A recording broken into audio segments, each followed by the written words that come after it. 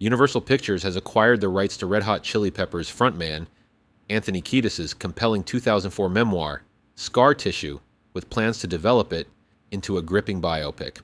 The project, announced by Deadline, boasts a formidable team of producers, including Kiedis himself, Chili's manager Guy Oseary, and renowned filmmaker Brian Grazer, known for his work on A Beautiful Mind and Apollo 13.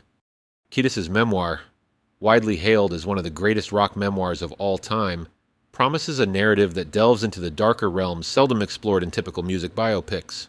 Co authored with Larry Sloman, the book offers an intimate look into Kiedis' tumultuous life, encompassing his relationship with a father who introduced him to drugs, the tragic death of founding Chili Peppers guitarist Hillel Slovak due to a heroin overdose, the myriad relationships that defined his years, and the resilience of the band through it all.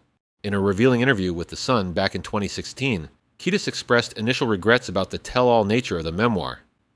However, he later recognized the positive impact it had, resonating far beyond his personal experiences. The memoir became a source of inspiration for many, reaching readers in hospitals, prisons, and schools. Kiedis acknowledged the book's purpose, stating, The whole point of writing that book wasn't for me, but to show that somebody can go all the way down and come all the way back and have a productive, successful, happy, interesting life. With the Hollywood landscape increasingly drawn to music biopics, the success of films like Bohemian Rhapsody, Straight Outta Compton, and Rocket Man underscores the widespread appeal of such narratives. As Universal Pictures takes on the challenge of bringing Kiedis' raw and unfiltered story to the silver screen, audiences can anticipate a biopic that transcends the typical music genre conventions, offering a riveting exploration of the highs, lows, and ultimate redemption of a rock icon.